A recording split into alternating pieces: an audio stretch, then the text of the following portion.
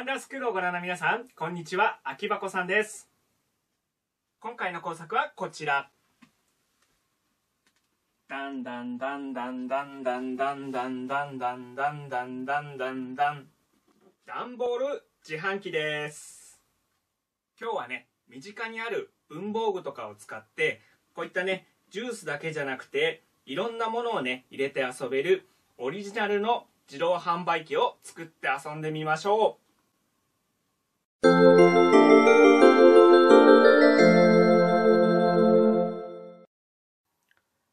はい、材料を紹介していきます。まずは段ボール。で、この段ボールなんですけども、作りたいね、販売機の、えー大きさによって、えー好きなね、サイズ選んでもらっていいんですけども、まあ、あの、夏休みのね、工作とかで学校に持っていくときとかのことを考えると、大きさ的にはですね、この、えージュースが入っていた段ボールですね、がおすすめです。えスーパーとかに行くとね、よくあの、ただでもらえたりしますので、そういうところを探してみてください。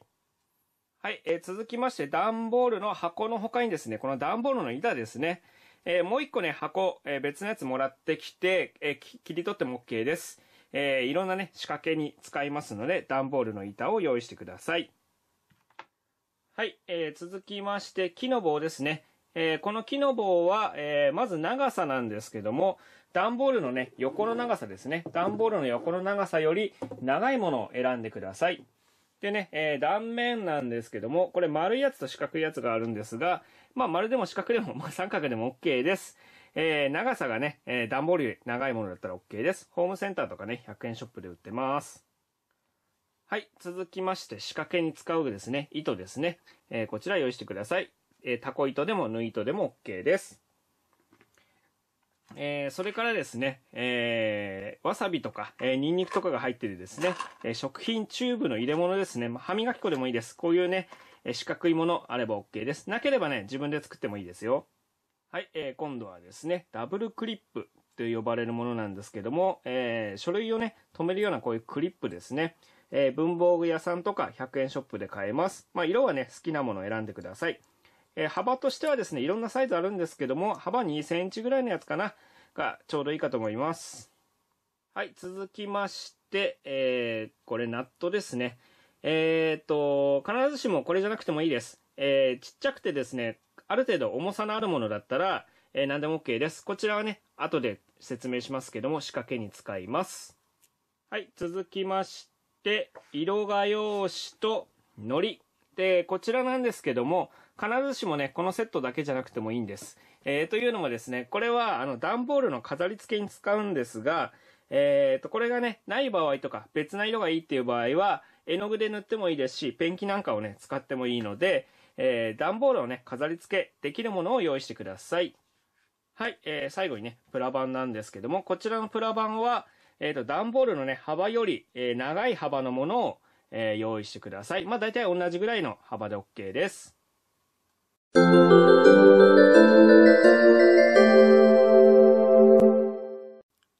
はい。ではね、道具を紹介していきます。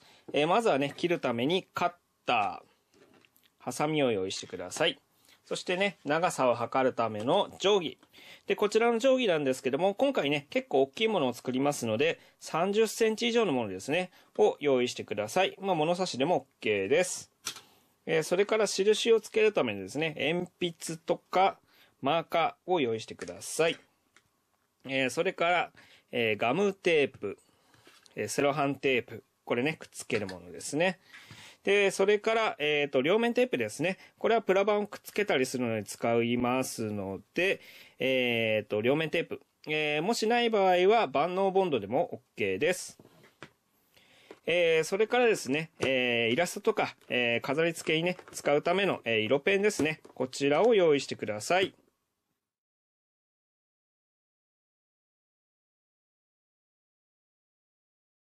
は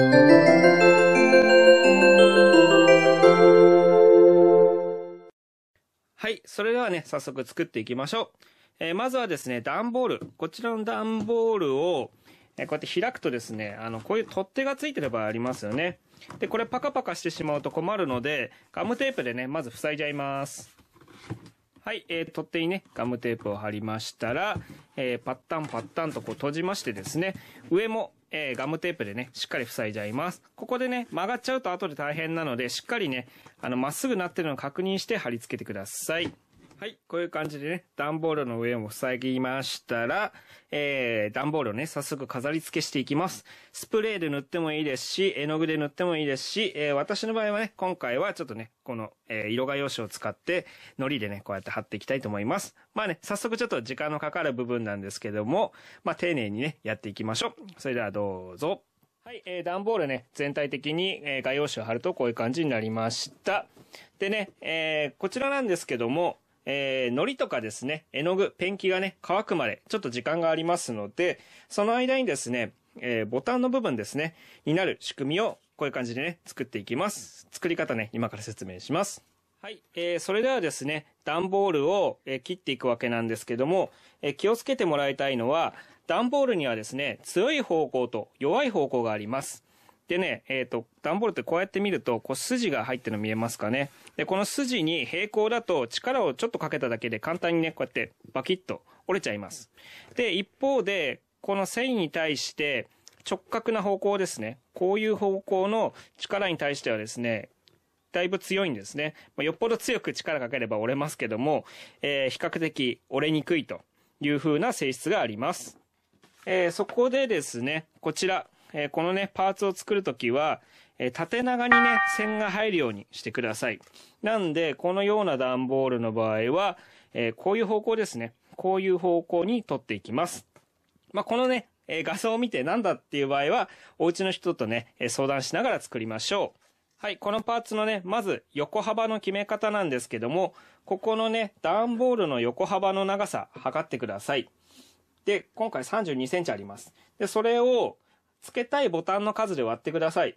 なんで今回は4つ付けようと思ってるので、4で割ります。そうすると8ですね。四波32なので、えー、8センチ。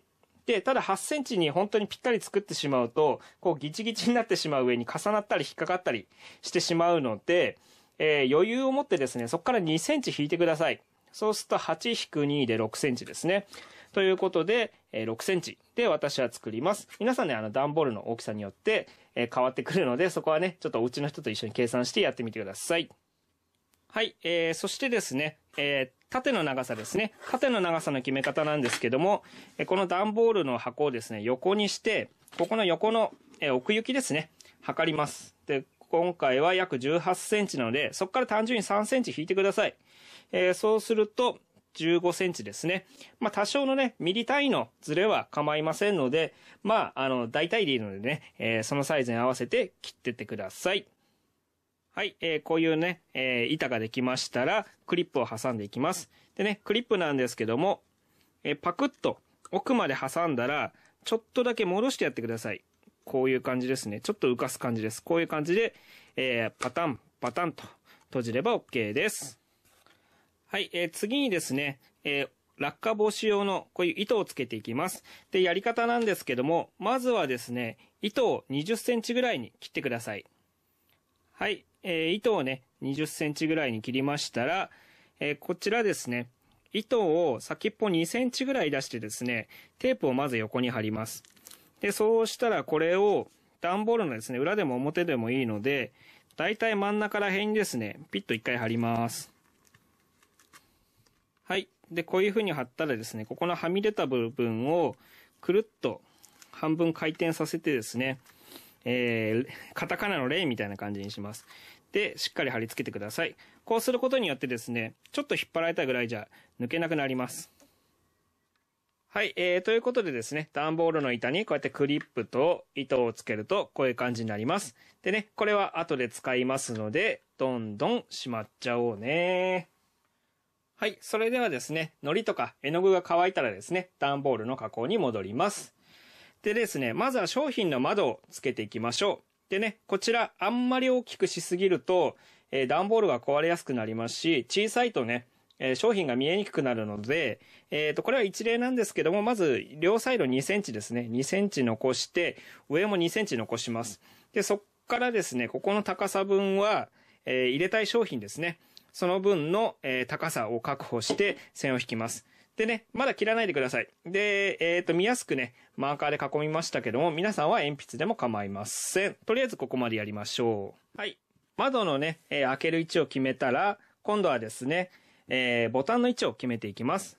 でですね、まず、窓のここの下の線ですね。ここの下から2センチのとこに横にピーッと線を端から端まで引きます。で、そうしたら、段ボールのここの幅を、まず半分のとこに分けて線を引きます。で、分けたところをさらに半分にします。半分の半分ですね。で、そこに線を引いたら、えっ、ー、と、さらにまたそれを半分にします。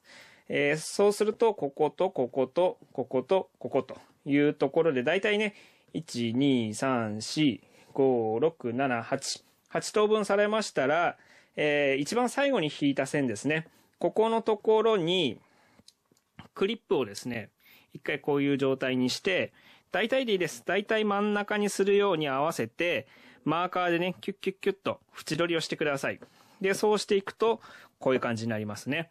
でそうするとボタンが1、2、3、4個できます。まあボタンのね、数によってまたやり方は変わってくるんですけども、まあ4つバージョンの時はね、こういう感じになります。はい。じゃあそれではですね、取り出し口を作っていきます。でね、まずここの高さなんですけども、これはですね、入れたい商品の高さに合わせてください。でね、ぴったりすぎると、えー、取り出すの大変になりますので、えー、2、3センチね、余裕を見てください。で、えっ、ー、と、こちら側ですね、横の方はあんまり端っこすぎると段ボール壊れやすくなりますので、こっちは2センチ。